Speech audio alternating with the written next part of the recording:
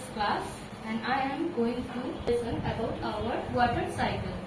First of all, the collection water, then evaporation, condensation and precipitation. And water comes into the earth again. You can see children. It's raining.